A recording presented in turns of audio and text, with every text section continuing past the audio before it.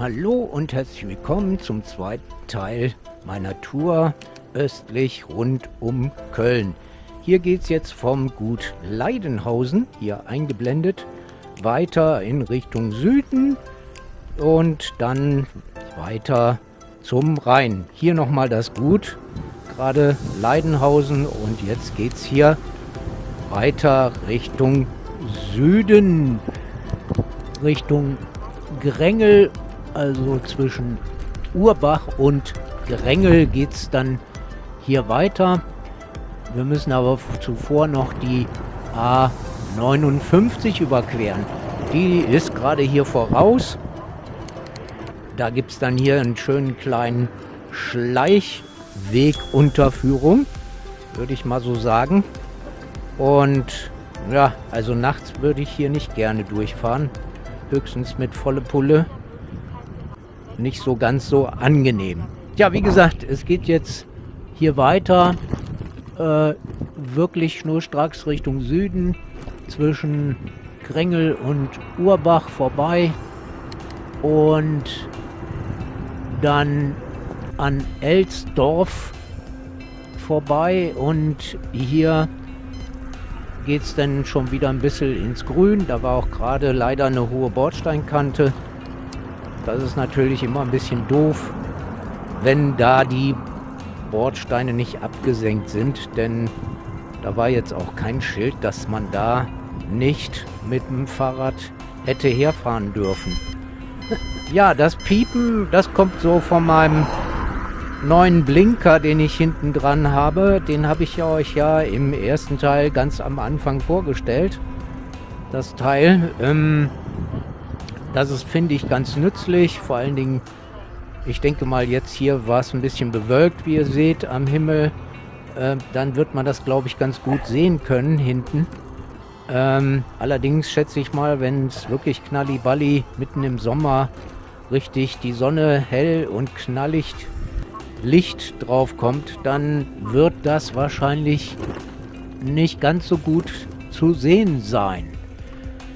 Ja, ich denke mal, ähm, hier das ist jetzt schon äh, irgendwie Elsdorf oder bei Elsdorf. Und da geht es denn hier jetzt auch noch mal so ein bisschen durch die durch die Ortschaften hier und leider auch noch mal hier ein Stückchen neben der Straße, aber Gott sei Dank zumindest ein separater Radweg. Das finde ich dann schon ganz gut. Ja, auch hier separater Radweg. Genau.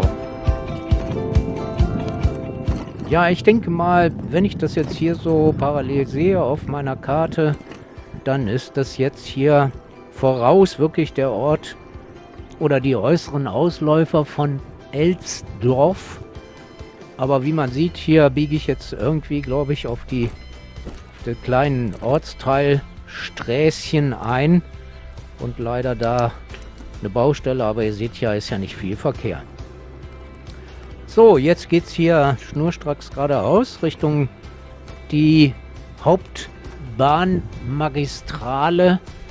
Äh, Bahnstrecke hier. Äh, das ist hier die Bahnstrecke. Da sind im Norden der Bahnhof Köln-Porz.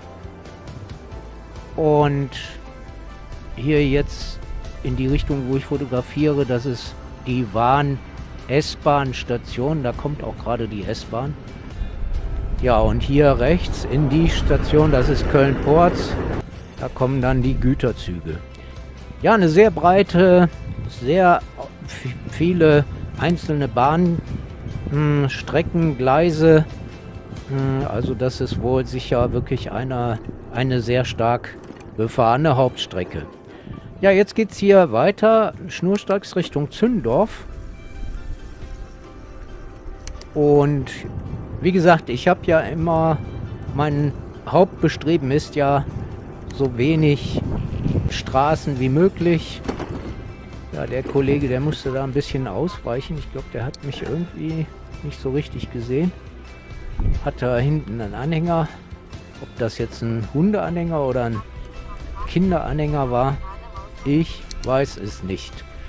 Ja, hier ist dann auch die Straßenbahnlinie.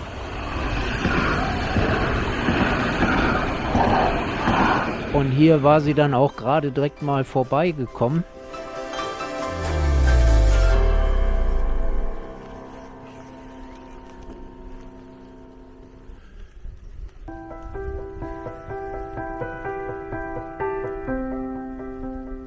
Ja, ich habe gerade mal nachgeschaut, das ist die Trambahnlinie 7 gewesen.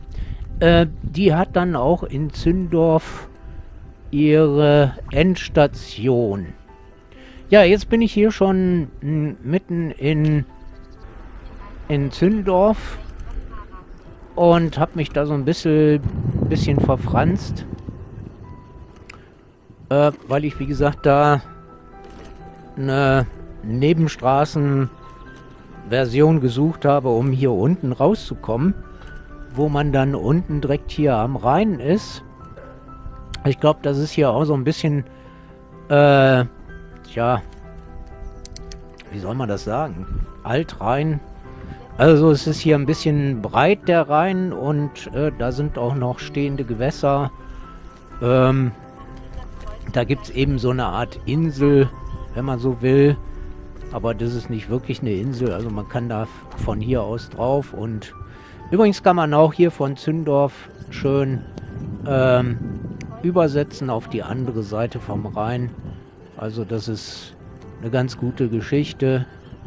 Von daher, ja, ich bin aber jetzt hier schon, wie ihr sicher gesehen habt, im Video unterwegs Richtung Norden.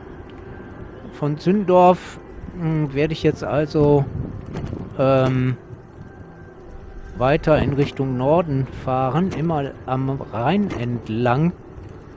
Und in Zündorf habe ich auch die Hälfte der ganzen Strecke beim Erreichen des Örtchens erreicht, also 30 Kilometer. Die komplette Tour ist 60 Kilometer lang. Äh, für manche ist das nichts, für mich ist das okay. Äh, irgendwo radel ich ja meistens irgendwas zwischen 40 und 70 Kilometer maximal. Das reicht mir dann auch. Aber gut, ähm, ich habe jetzt letztens irgendwo in Facebook gelesen, da hat jemand 120 Kilometer mit dem E-Bike mit zwei Akkus anscheinend geschafft. Ich weiß nicht, ob ich 120 Kilometer. Mir kommt es nicht drauf an, wie viele Kilometer es letztendlich sind. Ihr seht ja, mir kommt es auf Landschaft, äh, schöne Gegend an, wenig äh, Straße fahren. Ihr seht hier, hier gleißende matte Sonne. Die ist ja so ein bisschen hinter den Wolken. Das sind für mich Bilder. Ähm, wie gesagt, mir geht es nicht darum, jetzt hier Kilometer abzureißen und äh, ich bin der schnellste auf der Welt und äh, ich radel 150 Kilometer. Hm, das ist nicht meine Intention.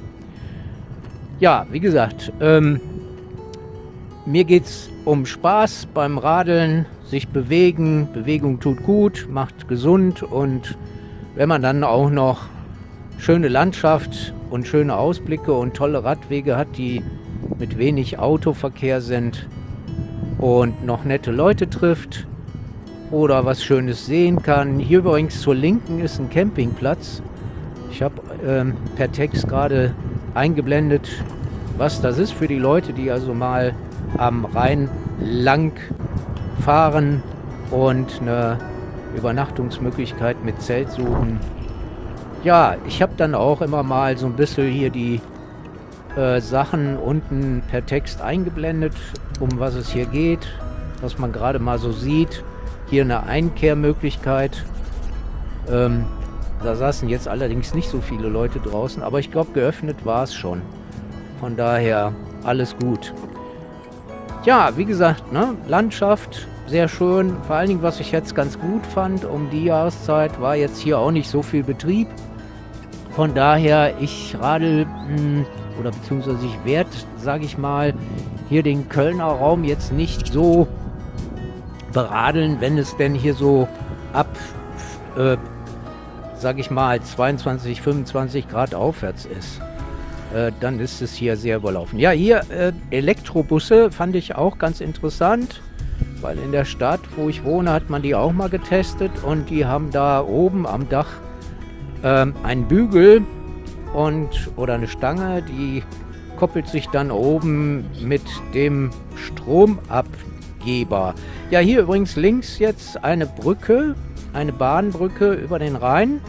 Da sind gerade, das fand ich ganz interessant, weil ich habe das nämlich mal gesehen mm, und überlegt, ob man nicht mal hin und wieder die Rheinseite wechseln kann. Ähm, ich habe da nämlich dann auch im Vorbeiradeln reingeguckt. Also man kann die links und rechts ist eine Eisenbahnbrücke. Kann man mit dem Rad drüber fahren. Leider ein Problemchen, man muss halt leider das Rad die Treppe hochtragen. Also sowohl auf dieser Seite des Rheins wie auch auf der anderen Seite. Ja, jetzt hier noch eine historische, wie ich finde, ganz toll. Wahrscheinlich hat man das hier restauriert. Eine Drehbrücke. Also nicht eine Schwenkbrücke, wie man die viel in den oder auch aus den Niederlanden kennt, sondern das ist eine Brücke, die wird gedreht. Und ähm, um dann hier Schiffe reinfahren lassen zu können. Ja, anscheinend ist das jetzt wohl hier für Autofahrer und Motorradfahrer gesperrt.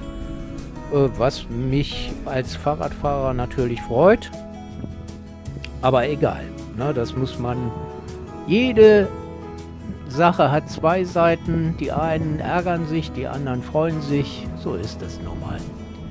Ja, jetzt komme ich hier irgendwo zwischen mh, hm, den Rheinbrücken wie man sieht, scheint wohl das hier gerade die Vorbereitung zu sein für die anstehende Osterkirmes hier zwischen den Rheinbrücken.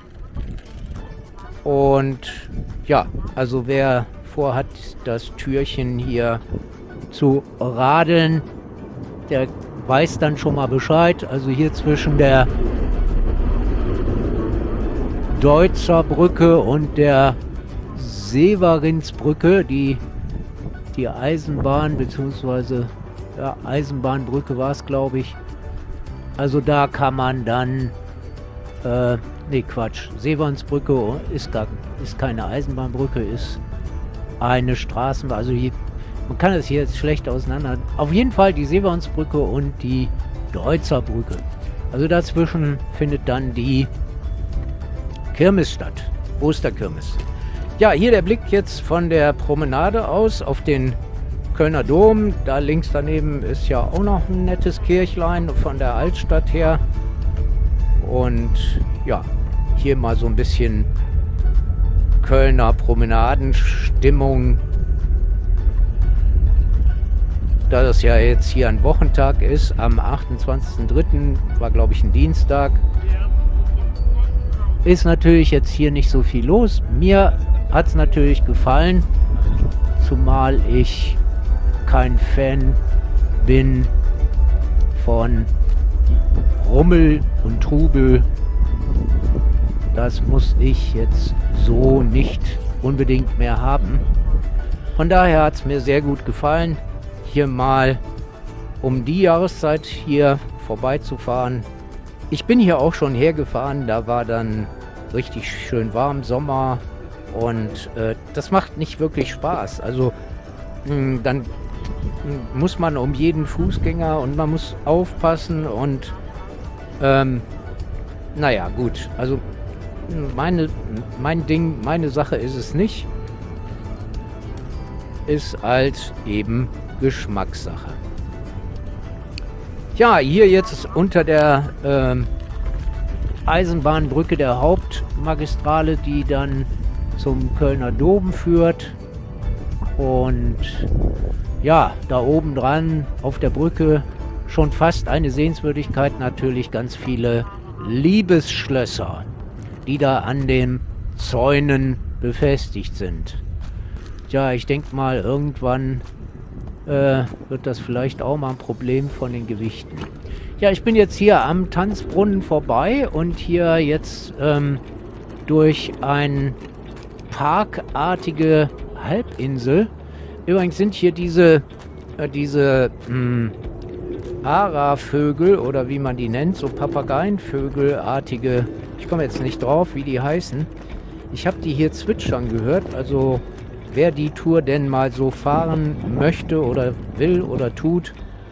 Ähm, ich habe die auch fliegen gesehen, aber ja, wie gesagt, das sind ja, ich weiß jetzt nicht genau, ob das Zoo-Ausbüchser sind oder, oder äh, ent, entflogene äh, von, von privaten Haltern, entflogene Vögel. Nachteil ist, wenn man da schön da unten lang fährt, man muss dann das Rad hier den steilen Hang hochschieben, weil das eben halt, ja, äh, ich weiß nicht, ob das hier eine Art Hafen ist. Äh, ich glaube hier die Brücke heißt Katzenbuckel, Brückenpanorama und hier der Blick eben in diesen, ich nehme mal an, das ist ein, ein kleiner Hafen. Ja, Mülheimer Hafen sehe ich gerade, steht hier in, in Komoot dran. Ja, da gibt es dann auch einen Kaffee. Anker 7 heißt das hier auf der anderen Seite, auf die ich jetzt hier rüberfahre, über diese, diese Brücke hier. Dieses Brückenpanorama, Katzenbuckel oder wie auch immer die heißen mag.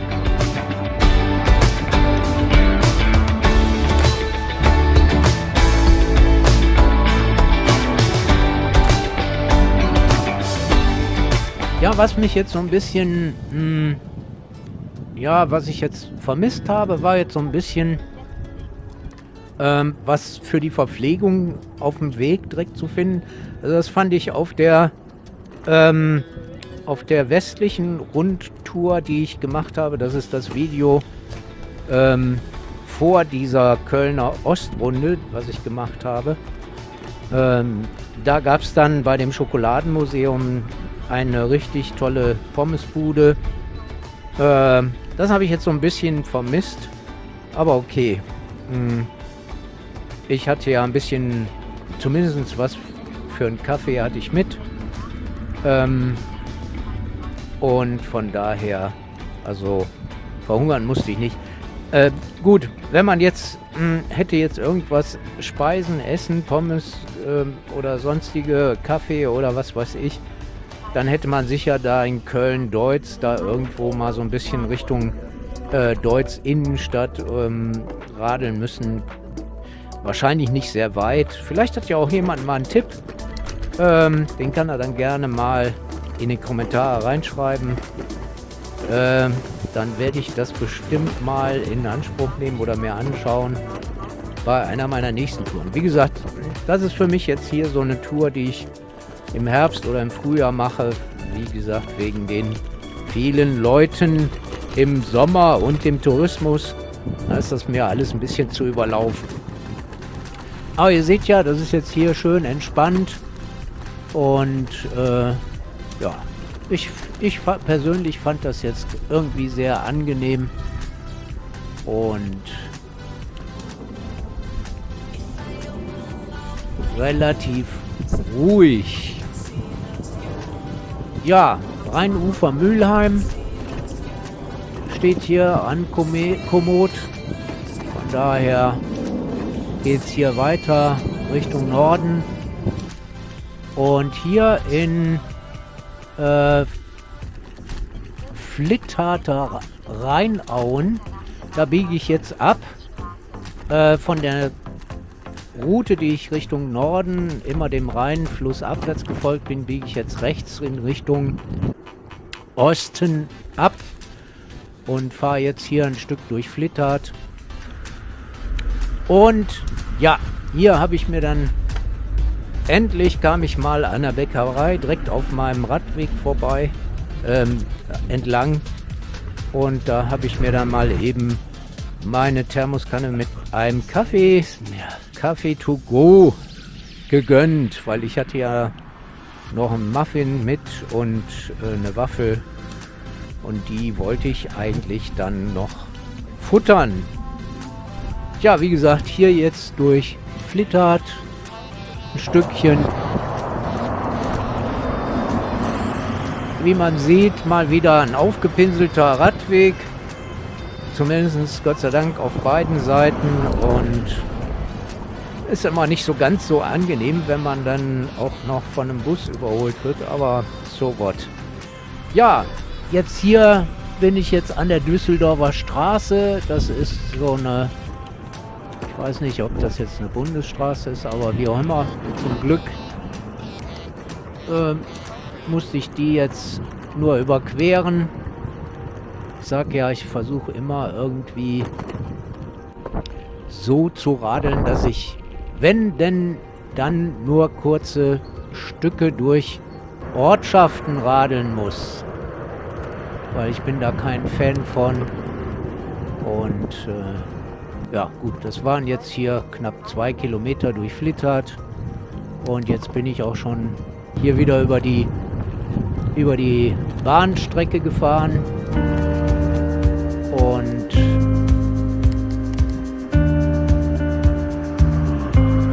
und dann hier noch ein Stückchen an oder neben einer Landstraße. Aber ihr seht zumindest ein separater Radweg. Ja, wobei, mh, hm, der war vorhin als Radweg ausgewiesen, endete dann aber da etwas sehr eng mit den Stangen. Und aber okay, alles gut gegangen. So, hier jetzt dann Stellwerkhäuschen war gerade zur Linken. Äh, das ist jetzt hier auch schon das Örtchen Dünnwald. Äh, da habe ich zum Glück nur ein ganz, ganz kurzes Stück äh, von knapp einem Kilometer und dann bin ich auch schon hier wieder im Dünnwald in dem wirklichen Wald, nicht nur so wie der Ort oder der Ortsteil von Köln Dünnwald heißt, sondern eben da gibt es diesen großen Wald.